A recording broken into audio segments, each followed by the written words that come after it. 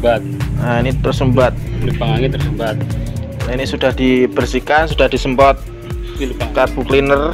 Ini lubang setelan angin. Nah ini sudah bolong semua. Sudah bersih. Siap pasang.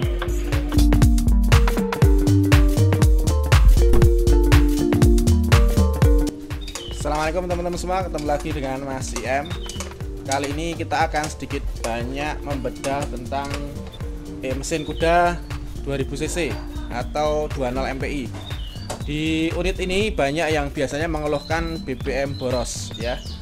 Nah apakah memang benar-benar boros atau ada cara yang bisa kita lakukan untuk mengiritkan BBM Nah di kesempatan kali ini kita akan nanti berkonsultasi dengan Mas Widan. Ya, jadi apa saja langkah yang bisa kita lakukan agar BBM Mitsubishi Kuda ini semakin irit ya. Tentu seirit-iritnya mobil ini tidak bisa dibandingkan dengan misalkan ya 1000 cc atau 1300 cc sekelas Xenia Avanza tentu nggak bisa karena ini bobotnya lebih berat.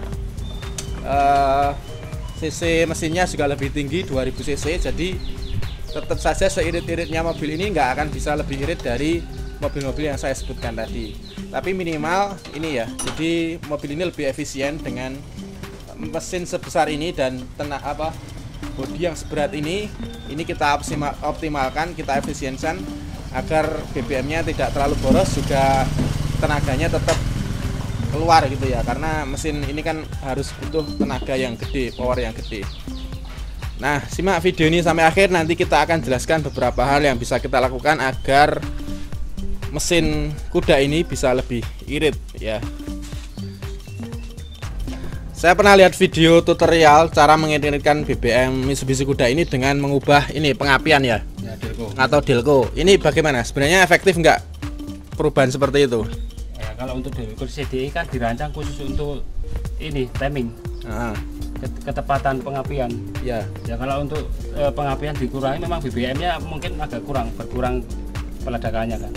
Nanti efek sampingnya itu ngorok ngelitik. Ngelitik ya terus tenaganya nggak ada memang BBM agak ngirit cuman efek sampingnya pasti ada itu yang saya maksud ya jadi kalau hanya merubah ini settingan ini ya. itu efeknya nanti akan jadi ngelitik kalau nggak tepat sekaligus tenaganya ngempos ya berkurang ya berkurang berkurang jadi memang BBM-nya jadi lebih irit cuma dia mengorbankan tenaga bisa, tetap mesin panas mesin panas juga ya iyalah Ya, Tapi jadi nggak efektif. Injektor beda.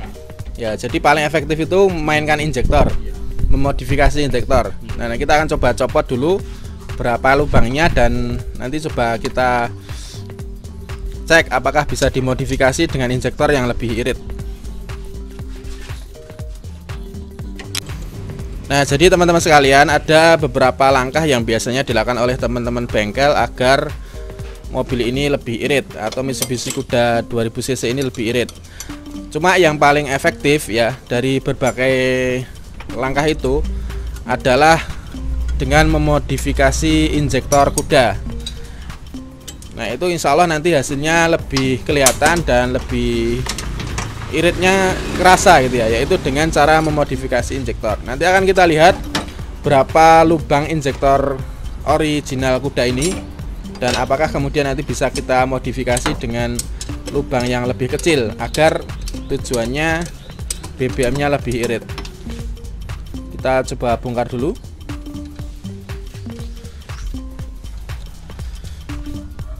Nah ini busi. Nah ini maksudnya ini ketika dicek businya ini dari warnanya itu terkesan boros. Jadi memang ada yang perlu dioptimalkan dari ini injektornya. Kemudian sing ini depanan mas. Ini mas. Pengap, delco pengapiannya nah itu perlu dicek ulang agar ini lebih optimal ya karena ini dari businya kelihatan ini lebih atau unit kuda ini rodok boros agak boros.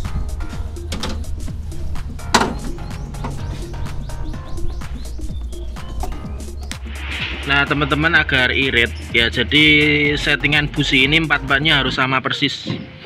Karena ini empat silinder jadi ada empat busi. Nah ini empat busi jadi kerenggangan ini ini harus sama persis sama plug nah ini diukur dengan alat ini. Namanya apa mas?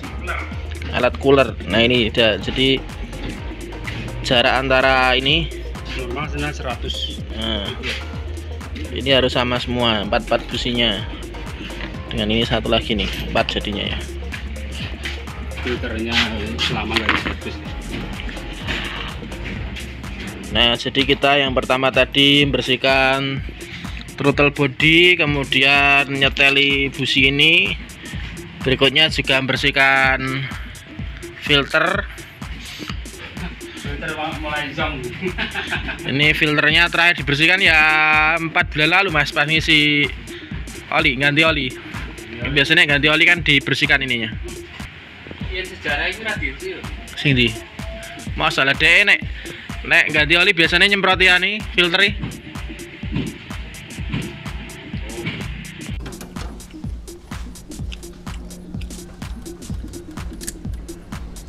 kancing kancing ah. Nah, ini throttle body. Jadi teman-teman kalau ada solusi yang lebih irit lagi daripada jangan harus ganti injektor yaitu dengan minimal ini membersihkan, membersihkan throttle bodinya ya jangan sampai ada kotoran-kotoran yang masuk ke sini. Karena efeknya kalau kotor ini mas jadi menyebabkan ya, pembakaran kurang sempurna ya? Sempurna, dan boros. Iya. Ini berarti memang harus di servis rutin ya. Bagi teman-teman dibersihkan throttle bodinya dicek uh, businya. Kalau ada yang kurang pas bisa dibetulkan.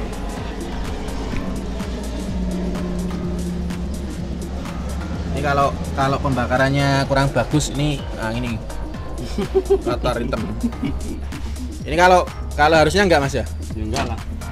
Nah ini karena terlalu boros jadi ada hitam di bagian sini bawah throttle bodinya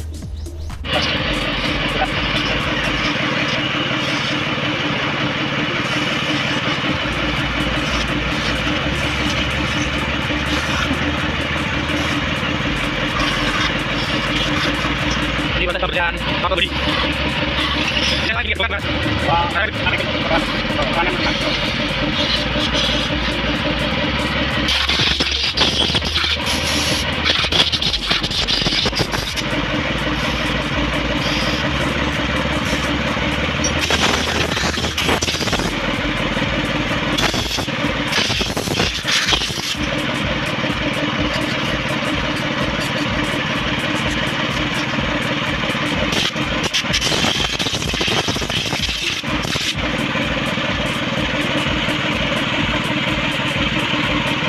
ini throttle body yang sudah dibersihkan. Tadi awalnya ini di sini ada banyak sekali hitam-hitam uh, kotor di sini dan di sini. Ya tadi awalnya begitu. Ini tersumbat.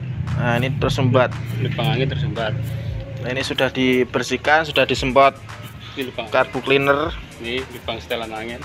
Nah ini sudah bolong semua, sudah bersih, siap pasang.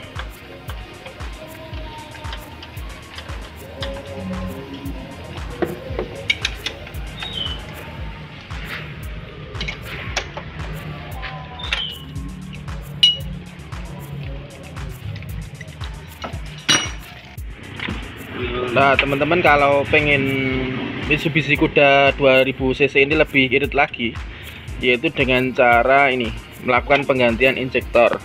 Kalau kita perhatikan ini injektor Kuda 20 MPI ini adalah empat lubang. Sebentar fokusnya kok nggak bisa ya? Ini empat lubang. Ini empat lubang. Nah ini empat lubang. Ini empat lubang. Nah empat lubang ini tapi ini empat lubang besar jadi kalau pengen agar lebih irit ini injektor ini bisa dimodifikasi atau diganti dengan injektor yang lebih kecil. Empat lubang sama tapi pengabutannya lebih kecil. uh, lubangnya lebih kecil jadi pengabutannya lebih kecil jadi efeknya nanti BBM nya bisa lebih irit. Jadi kalau itu secara simpel adalah kalau di kuda 1600 cc karbu itu adalah dengan mengganti karbu ya nah, mengganti karbu tapi karena ini injeksi jadi yang bisa kita lakukan adalah mengganti injektornya dengan lubang yang lebih kecil jadi efek e, kabutnya lebih kecil lebih lembut dan efeknya BBA lebih irit Nah itu bagi teman-teman yang mau ragat monggo di bisa begitu. Ini satu injektor harganya kurang lebih berapa mas? 50-an. Nah, satu injektor itu sekitar 350 ribuan kalau original.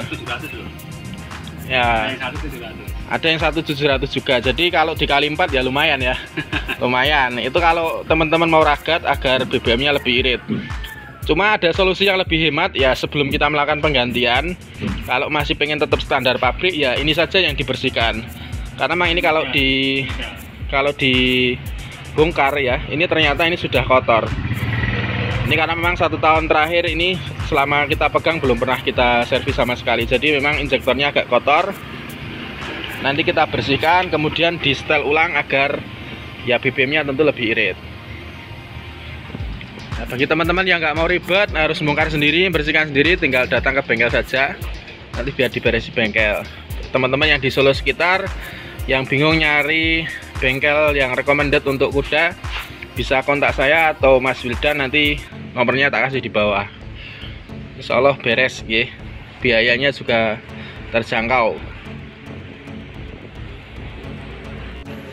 Nah yang pertama yang dibersihkan ini adalah filternya.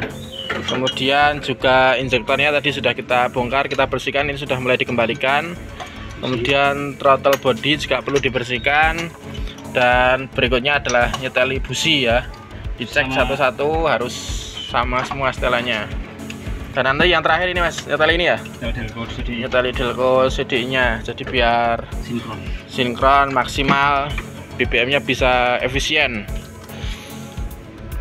irit seirit standarnya mobil ini ya jadi nggak seirit alia nggak bisa. Tetap aja tetap lebih boros cuma kan seirit-iritnya seefisien mobil ini. Kalau mau irit ya kalau injektor. Nah kalau mau lebih irit lagi nanti bisa diganti injektornya tapi ya ragatnya lumayan.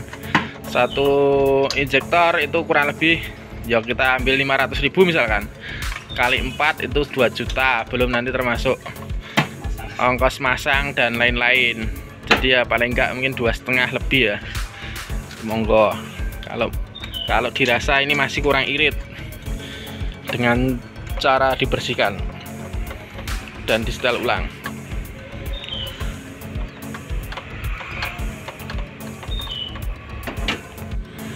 Oke ini sudah dipasang semua throttle body sudah kembali ke tempatnya injektor juga sudah busi juga sudah filter juga sudah dikembalikan.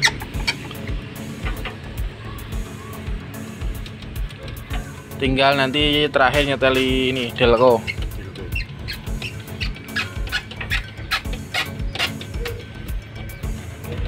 Ini servis begini sebenarnya servis rutin mas harusnya ya? Harus rutin. Idealnya pirang kilo mas ya. berapa ribu kilometer? Anjuran dealer sama kita kan lain. Anjuran anjuran bengkel pada umumnya? Umumnya 50 ribu ya 50 ribu ya? Cek cek total. Bukan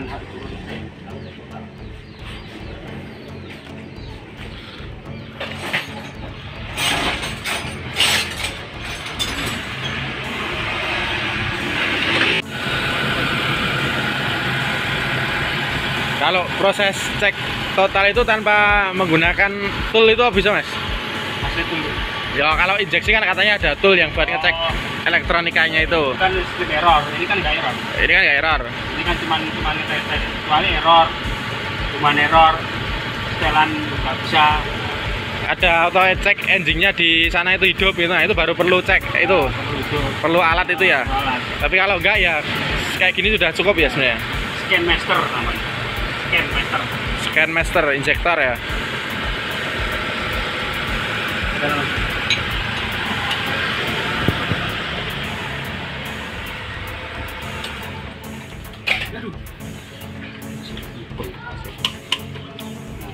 Iki gue tak kayak ngirit. Apa sampingnya gue anggap panas, tataran rada mandek. Hmm. Rada tapi ngirit, nggak masalah.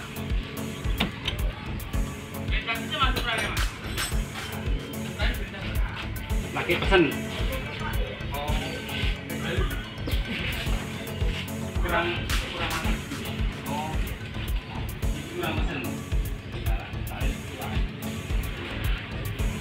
ikan penyetelan. Hmm. nah ini proses penyetelan dilko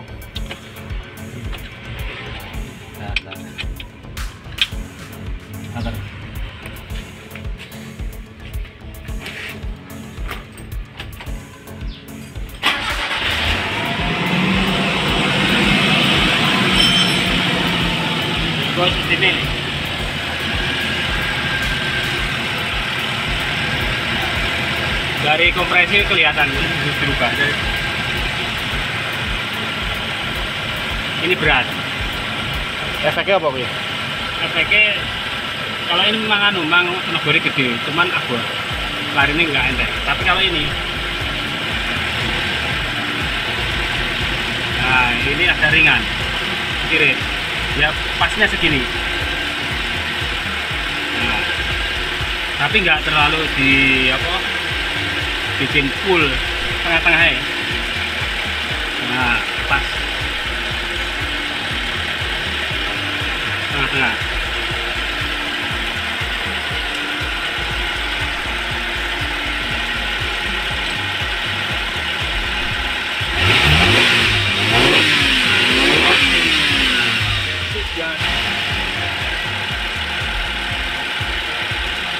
Nah ini kan pengaruh juga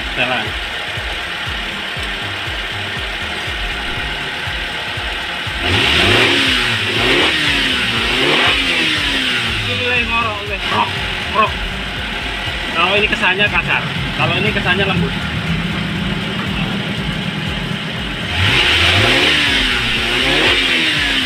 Lembut. Aku mau mau rasa tuh rabur, lah ini enggak. Tapi dia enggak. Sing apik?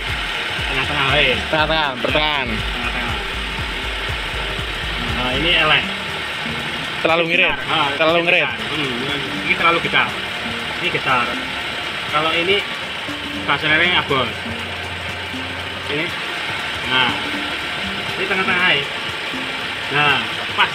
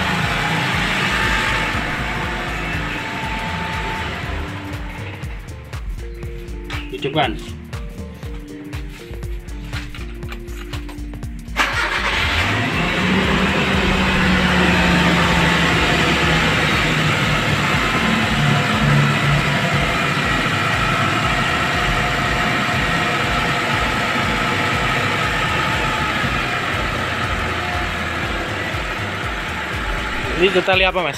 Setelan angin? Setelan angin, setelan, setelan CO, setelan CO. Jadi biar asap buangnya lebih bersih lagi, pembakarannya lebih efisien. Sama stasioner lebih stabil. Di sebelah mana ya setelnya? Ini? Oh kelihatan ya? Ini? Semakin semakin keluar uh, setelan ini semakin besar angin yang masuk semakin tinggi stasioner ya nanti kita cari yang paling tepat loh kita keluaran keluarin keluarin dulu sampai dia betul-betul keras. Dan langkah-langkahnya kita gas.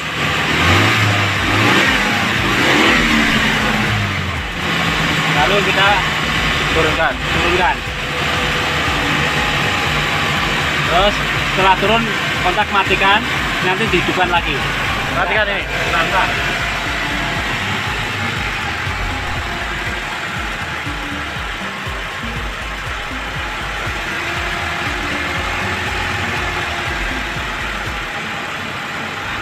Nah, matikan. Hidupkan sampai RPM 1000. Ya. Nah.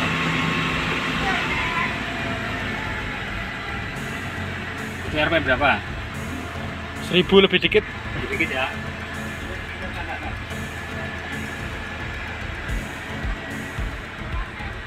Apa? Seribu pas. Pas. Ya, enggak.